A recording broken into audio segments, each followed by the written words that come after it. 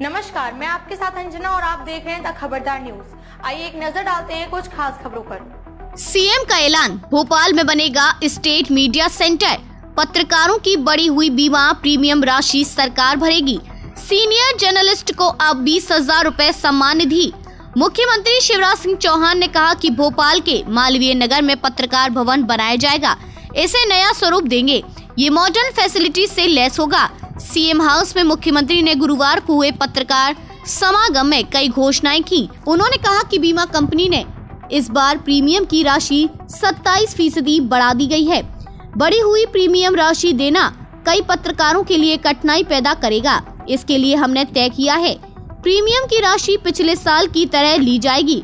बड़ा हुआ भार राज्य सरकार वहन करेगी। बीमा के लिए आवेदन करने की अंतिम तिथि 16 सितंबर से बढ़ाकर 25 सितंबर तक कर रहे हैं। मुख्यमंत्री ने दावा करते हुए कहा, इस चुनाव के बाद भी हम ही रहने वाले हैं, लेकिन ये सब चीज़ें पहले ही पूरी कर दूँगा।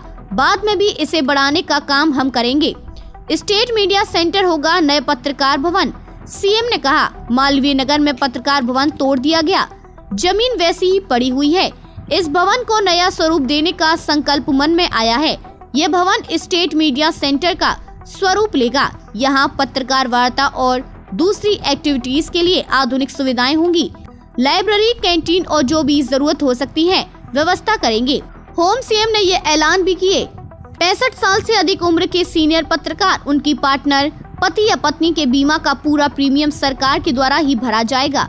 पत्रकारों, उनके आश्रितों को सामान्य बीमारियों में अभी तक आर्थिक सहायता का प्रावधान बीस हज़ार रूपए था।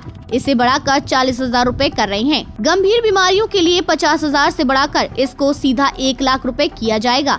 अगर और भी ज़रूरत होगी तो सरकार ध्यान रखेगी। सम्मान निधि प्राप्त करने वाले पत्रकार के निधन पर उनकी पत्नी को अस्सी हज़ार रूपए की सहायता एक मुश्त दी जाएगी।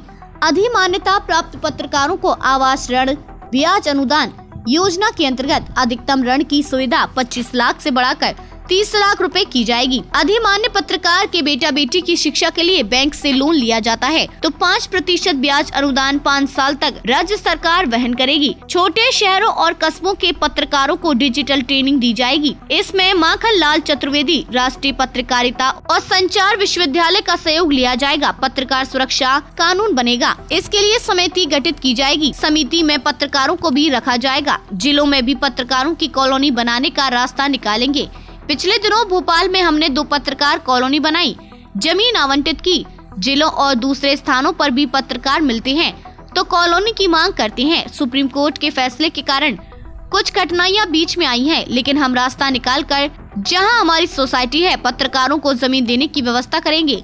लीगल जो भी रास्ता होगा निकालेंगे। अगर आपको वीडियो पसंद आई हो तो वीडियो को लाइक करें शेयर करें और हमारे चैनल को सब्सक्राइब करना ना भूलें।